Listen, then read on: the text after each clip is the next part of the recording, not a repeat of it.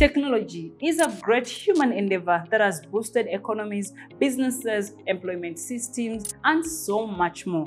Currently in Uganda, we are faced with a lot of challenges when it comes to cyber crimes. Banks are cracked, SMEs, and also personal accounts. We shine a spotlight on what is being done in the space, not only in Uganda, but also on the global scale. Welcome to the show. My name is Fiona Bukuru.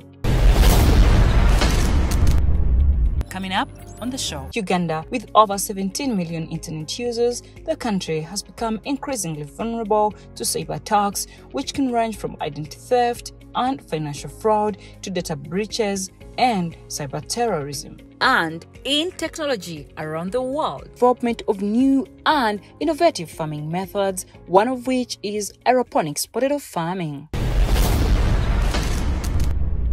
Uganda is currently faced with a lot of cyber crimes and little or nothing has actually been done about it. We are at Milima Security, a home of Milima Cyber Academy. These guys are doing murderous things in the country, not only for big cooperatives, but also for career-based people and also small SMEs. We're going to go deep down into what Milima does and how they have boosted the cyber security in the country, but also in Africa, taking it to the global scale.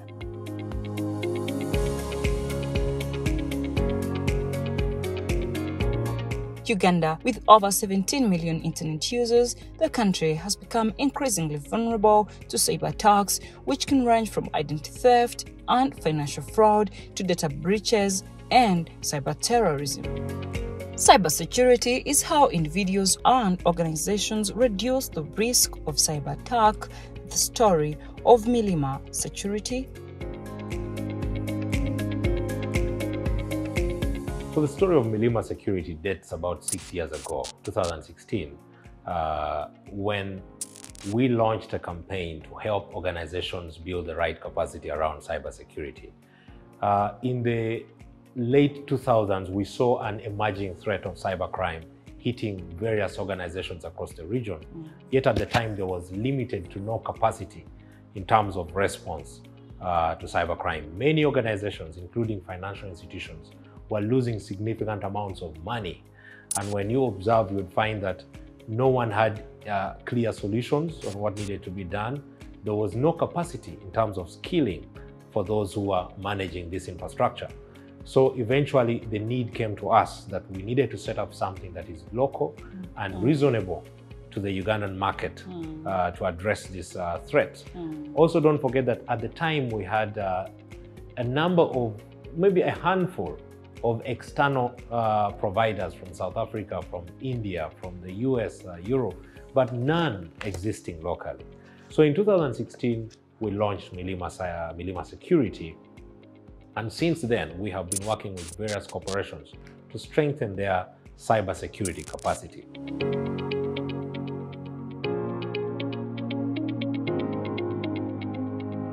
Through our penetration testing exercises, which is ethical hacking, we try to find out any weaknesses in the controls, in the configurations, which could potentially lead to cyber attacks.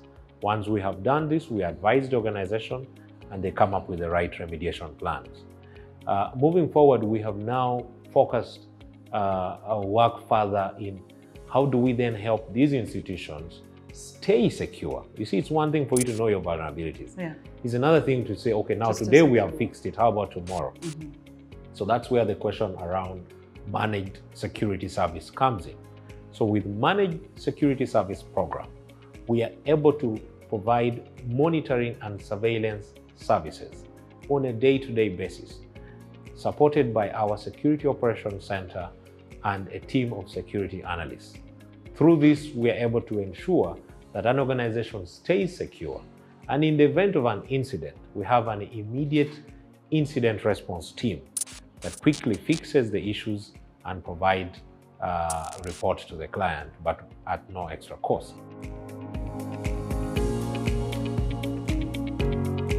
In today's digital age, cybersecurity has become a critical concern for businesses and organizations in Uganda.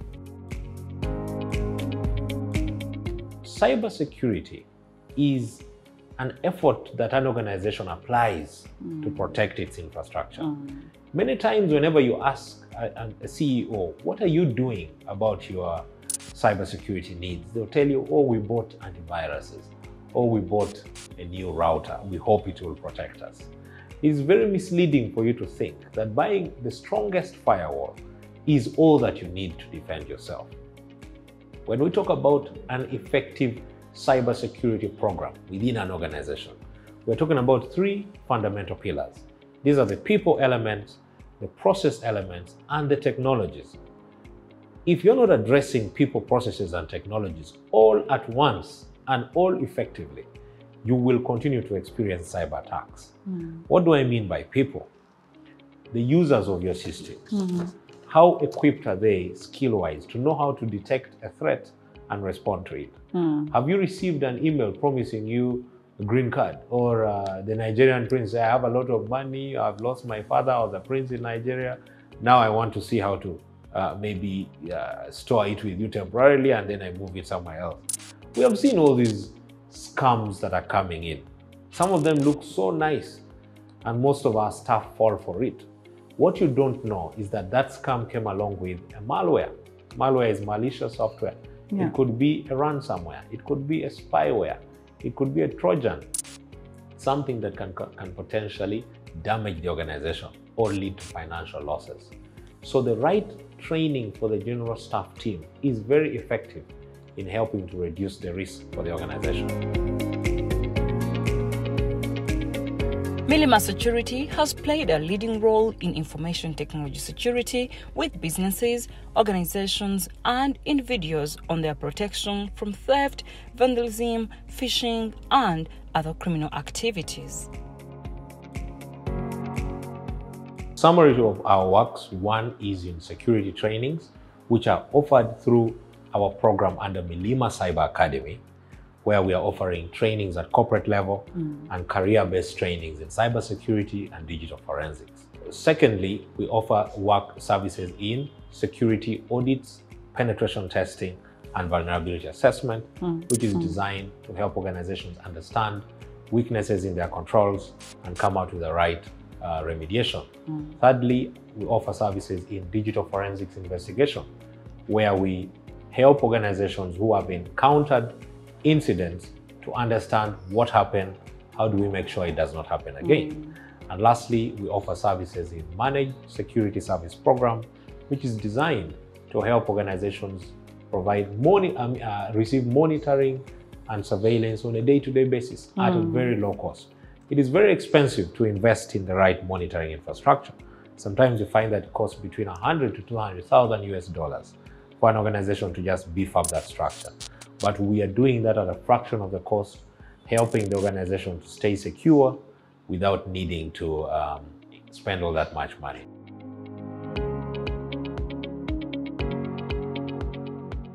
security management of organizations and human activities together with digital assets is the main objective of Milima Security.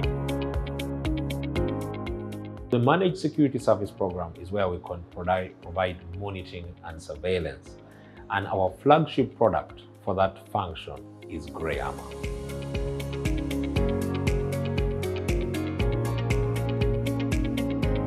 It is on that note that organizations should develop comprehensive cyber risk management programs with the right combination of people, technology, processes, and policies across the organization to address the challenges highlighted above.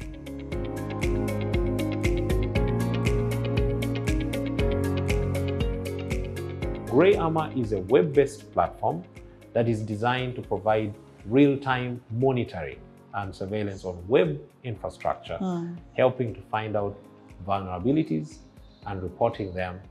At the end, we are supporting this system by using there's a team that is ready to provide an incident response. Mm. So if there are any issues that are discovered on the website and you need our support, you reach out to us for quick support. We try to respond within an hour. When we were designing Grey Armour, our mind was for the SMEs to make sure that they find it so easy to use without needing any extra training in cybersecurity. Mm. You see, it is always very taxing for small business owners to invest in security, also to learn about it. But if we could build something that is so easy to use, yet so flexible and so accurate in its work, then we would have solved, we would have met our vision. And that is what we are building behind Grey Armour.